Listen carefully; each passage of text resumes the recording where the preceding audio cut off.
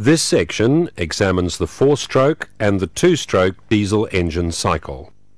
Let's start with the four-stroke diesel engine cycle. A four-stroke diesel engine has a cycle of four strokes. A stroke is the distance from top dead centre to bottom dead centre. The piston travels down for one stroke on intake, up for compression, down for power and back up for exhaust. In intake or induction, the inlet valve opens and the piston starts to move down from top dead centre. Air enters the cylinder through the inlet port. When the piston reaches bottom dead centre, the cylinder is full of air the inlet valve closes. The piston starts up from bottom dead centre. The exhaust valve is closed, so the cylinder is sealed. The piston's upward motion compresses the air. When the piston reaches top dead centre, the air is compressed to about 1 16th of its original volume. This is higher compression than in a similar petrol engine. Compressing the air also heats it.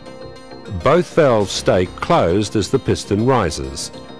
Just before it reaches top dead centre, an injector sprays fuel into the chamber. It mixes with the very hot compressed air and ignites. Combustion occurs. The temperature rises much higher and the gases expand and force the piston down in a power stroke. The piston reaches bottom dead centre. The exhaust valve opens. With the exhaust valve open and inlet valve closed, the piston moves up, forcing exhaust gases out of the exhaust port.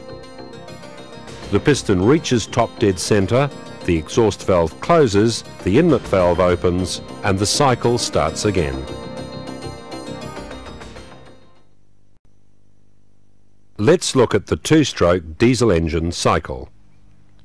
Once again, the five key events occur but in a different way.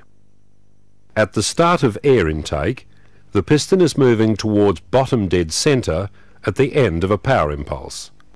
The piston uncovers the inlet ports and the blower delivers fresh air into the cylinder.